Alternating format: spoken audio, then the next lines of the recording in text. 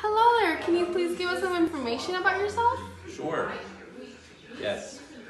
What is your name? Uh, my name is Eric. Okay. Where is it you're coming from? Uh, we live in a motorhome full time, but we're originally from New York State. Okay. Why did you choose Dental Solutions? Uh, we chose Dental Solutions uh, after reading many, many reviews of many doctors here in Los Algodones, and uh, this, you seem to be very good. Plus, I liked that it was a family business. What type of dental uh, dental work did you get done with us? Oh, lots of stuff. I got um, three implants, um, 13 crowns, uh, one extraction, one root canal, a cleaning, a CT scan, and lots of x-rays. Okay. Did we meet your expectations?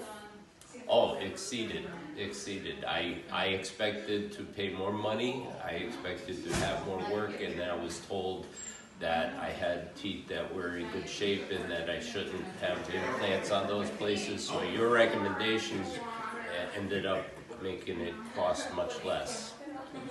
Is there anything else you would like to share with us? Um, for anyone looking at this, it's a very nice place. It's very professional. All the people are originally from New York State. Okay. Why did you choose Dental Solutions? Uh, we chose Dental Solutions uh, after reading many, many reviews of many doctors here in Los Algodones, and uh, this, you seem to be very good. Plus, I liked that it was a family business. What type of dental uh, dental work did you get done with us? Oh, lots of stuff. I got um, three implants, um, 13 crowns, uh, one extraction, one root canal, a cleaning, a CT scan, and lots of x-rays. Okay. Did we meet your expectations? Oh, exceeded, exceeded. I, I expected to pay more money. I expected to have more work, and then I was told that I had teeth that were in good shape and that I shouldn't have implants on those places. So your recommendations ended up making it cost much less. Is there anything else you would like to share with us?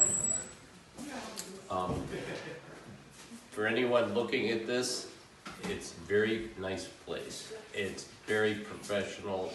All the people are very friendly. Um, everyone is very patient with my very poor Spanish, and they all speak English very well. Alrighty, thank you very much.